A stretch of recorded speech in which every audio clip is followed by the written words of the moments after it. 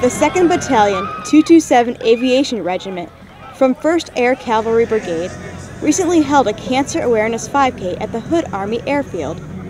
The run brought soldiers and civilians together to support individuals affected by cancer. Uh, we had participants from across not only the brigade but the division here from 41st Fires. Uh, it's really inspirational to have those other soldiers, those other family members come out and join us this morning. This run hits close to home for the Lobos soldiers because one of their own, Staff Sergeant Michael Collins, has recently been diagnosed with cancer. One thing that he stated he wanted to do was to recover soon and uh, run with the battalion.